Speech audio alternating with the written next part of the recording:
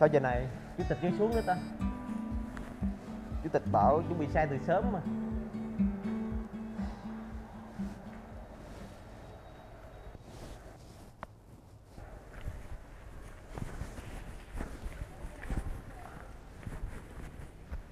Thằng Thi. À, Chủ tịch Sao bây giờ chủ tịch mới xuống à?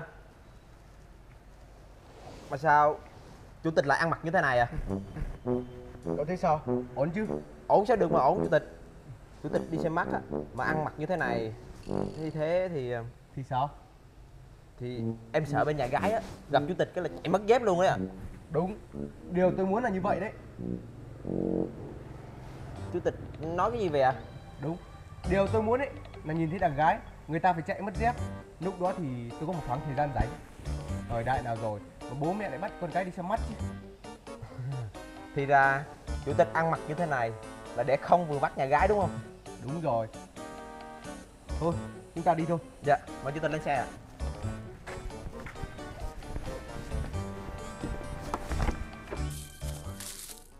Chủ tịch cũng lạ thật đấy. Nếu chủ tịch đã không thích á Thì chủ tịch đừng có đi xem mắt. Việc gì chủ tịch phải làm vậy à? Đấy là cậu không biết bố mẹ tôi rồi.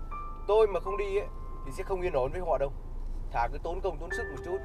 Nhưng ít ra mà được yên ổn một thời gian Em cũng đến chịu với chủ tịch đấy ạ. Thôi được rồi. Con tấp vào lè cho tôi. Dạ vâng ạ.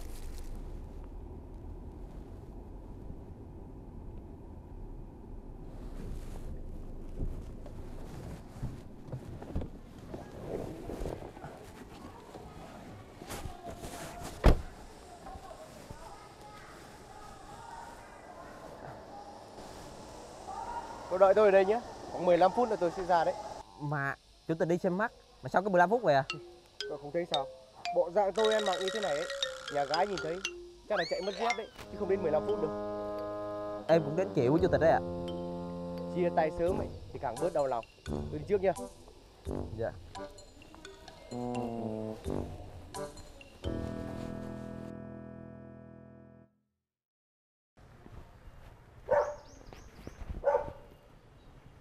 xem lần này Bố mẹ phải bắt mình đi xem mắt hay không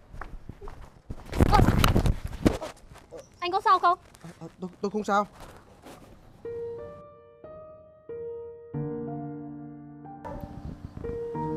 Anh không sao chứ? Tôi không sao Anh bị làm sao vậy?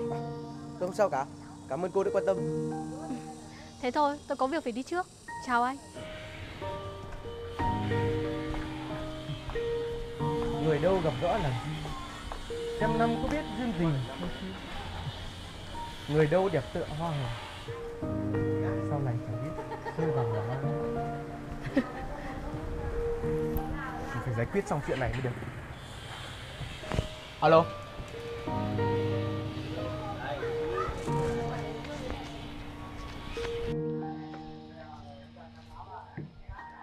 Em ơi, cho chị gọi đồ. Là cô Cô là đối tượng xem mắt à Thật là trùng hợp. Không ngờ lại gặp anh ở đây. Mời anh ngồi. Tôi xin lỗi Tôi không biết cô là đối tượng xem mắt Nên tôi đã Sao anh lại xin lỗi tôi nhỉ? Anh đã làm gì có lỗi với tôi đâu. à, Phen này thì trời hại mình rồi Tại sao mình có thể ăn mặc như vậy mà đi xem mắt được chứ Ấn tượng đầu tiên về cô ấy mà đã không tốt Thì làm sao Này. mà ghi điểm với cô ấy được chứ Anh Vương, anh không sao đấy chứ? Tôi không sao Tôi khỏe Tôi vẫn khỏe lắm Tự nhiên tôi thấy anh đơ người ra. Tôi cứ tưởng anh bị làm sao cơ. Tôi không sao Cảm ơn cô Ai kia Có phải là Trúc Hoa Khôi của lớp mình đấy không ta Anh là ai vậy Lại là cậu à? Bà này Dù gì cũng là hoa khôi của lớp một thời Bao nhiêu người theo đuổi Người thì kén chọn Mà lại đồng ý đi cà phê với một thằng Ăn mày thế này cơ? Anh Này, tôi đề nghị cậu ăn nói cho lịch sự vào. Còn nếu cậu không ăn nói lịch sự được ấy, thì phiền cậu ra chỗ khác cho. Bởi vì ở đây không ai tiếp những kẻ bất lịch sự cả. Sao thế? Tôi là đúng rồi Nên nổi giận à? Tôi nói không đúng sao? Nhìn nó ăn mặc Có khác gì thằng ăn mày không? Mà này Hay là nó khinh cậu nên mới ăn mặc như vậy? Tôi có lý do của mình nên tôi mới làm vậy. Chứ không phải tôi không tôn trọng cô ấy. Thôi, đừng có lý do với lý chấu gì ở đây cả. Mệt lắm. Mà hoa khôi này, giờ cậu hối hận vẫn còn kịp đấy. Giờ, thằng Đạt này không còn là thằng Đạt ngày xưa nữa đâu. Tôi được cân nhắc lên là giám đốc của một công ty. Cậu thử nghĩ xem, làm người yêu của giám đốc tốt hơn hay là làm người yêu thằng ăn mày hay hơn? Anh đừng có quá đáng. Tao thích quá đáng đấy. Thì đã làm sao? Này, hay tao nói đúng tim đen của mày rồi. Mày sợ à? Ai đời, đi cà phê với gái, ăn mặc không có gì thằng rẻ rách. Này, tôi không biết anh ấy ăn mặc như thế nào Nhưng mà ít ra lời nói của anh ấy và nhân cách trong sạch Còn hơn anh, bề ngoài thì trong sạch Nhưng mà lời nói phát ngôn ra ấy thì dơ bẩn bốc mùi Y như cái nhân cách thối tha của anh vậy Mày, mày chết à? Anh làm gì vậy? Tránh ra, nó xử mày luôn đấy. Không tránh thì sao? Thì, thì thôi chứ sao? Chúng mày chưa xong với tao đâu. Cô ngồi đi.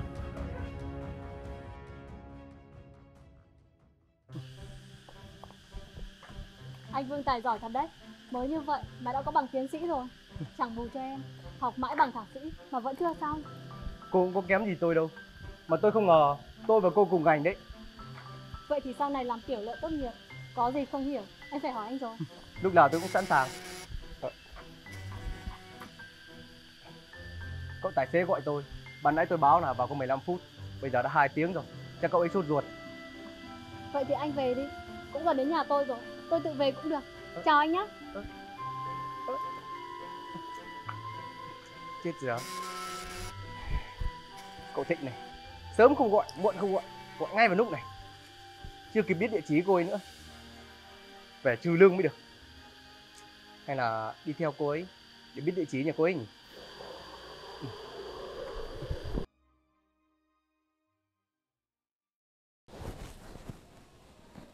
sao chủ tịch không bắt máy vậy ta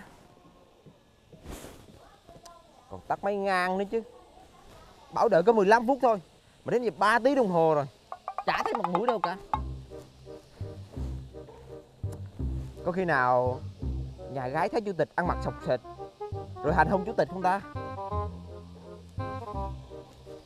Cũng có lý lắm đi chứ. Chỉ có như vậy thôi, mới đi cả buổi như vậy.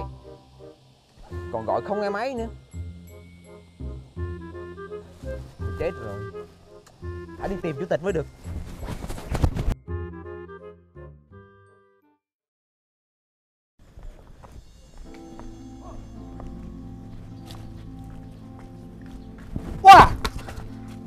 Mà vội mà vàng, mà vấp phải đá, rồi quàng phải dây. Anh làm cái gì thế Tự nhiên sừng sổ ra Muốn làm gì Còn làm gì nữa? Anh đợi em từ nãy đến giờ đấy. Cuối cùng, em với thằng ăn mày đấy, tách nhau ra rồi cơ à? Này Anh ăn nói cho nó đàng hoàng nhá Đừng có một tiếng hai tiếng Lại gọi người ta là ăn mày Rõ ràng là có ăn có học Mà cứ mở miệng ra là như phù vô lại thế Chú choa mạ ơi! Nó hút hồn em hay sao? Mà em bênh nó ghê thế? Này, anh nói thật nhá, thằng trên răng dưới dép ý, dù có cao to đẹp dai đến mấy, cũng không mài ra được đâu. Anh Anh làm sao? Mà này, hai em ngoan ngoãn chiều chuộng anh đi, rồi bao nhiêu tiền anh đưa em hết nhá. Buông ra Anh làm gì đấy Đi rồi ơi Anh làm gì vậy? Em không sao chứ? Cái thằng ăn mày này, hôm nay mày lại dám đánh bố mày cơ à? Không sao chứ? Nếu anh còn nói tôi là ăn mày một lần nữa, tôi sẽ không khách sáo với anh đâu. Không khách sao? Thì mày làm gì bố mày hả? Anh Vương Đừng có động tay động chân với loại người này làm gì Nó động tay động chân với em mà. Tao thì làm sao? Bạn bè lâu lắm không gặp nhau, hỏi ham tí không được à? Sao còn đánh bố mày? Bố mày sẽ kiện mày. Anh kiện đi. Nếu không kiện được tôi, tôi sẽ kiện lại anh. Vì tội vu khống và sàm sỡ người khác đấy. Kiện tao à? Mày nghĩ luật sư không cần tiền à? Hả? Tao cho mày biết. Mày kiện tao thử xem. Bố mày lại sợ mày quá cơ. Tao thì làm sao? Tao sẽ kiện cho mày. Bây giờ nó có tù mục xương thì thôi. có chuyện gì à mỹ quá vậy đánh nhau à Ờ, anh Thịnh, sao lại ở đây ạ? Ơ, cậu đạt sao lại gặp nhau trùng hợp quá vậy Thì đây là quê em mà. Nhưng mà anh về quê làm gì vậy ạ? à anh đưa chủ tịch về ra bắt nhà vợ thế ờ, còn cậu làm gì ở đây Em làm gì không quan trọng.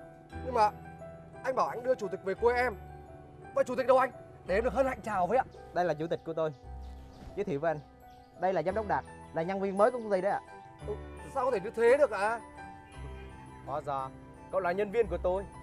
Trái đất này tròn thật. Không thể thế được. Sao lại không được? Chủ tịch đâu có ăn mặc bình thường như thế này đi xem mắt được.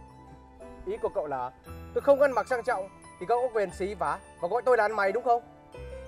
À không chủ tịch hiểu lầm rồi. Tất cả chỉ là hiểu lầm thôi. Miệng em thì hơi xấu một chút nhưng mà dạ em tốt lắm. Chủ tịch đừng hiểu lầm ạ. Được thôi Chuyện cậu đánh tôi Cậu có thể thuê luật sư. Còn riêng về phần tôi Thì không. Cậu Thịnh Gọi điện cho phòng nhân sự sa thải cậu ta ngay lập tức. Dạ vâng ạ. Chủ tịch chủ tịch anh có thể bỏ qua cho em được không ạ? Em hứa từ bây giờ em không dám như vậy nữa đâu ạ. Loại người như cậu Không xứng đáng để có một lời hứa. Đây coi như một bài học dành cho cậu đấy. Chúng ta đi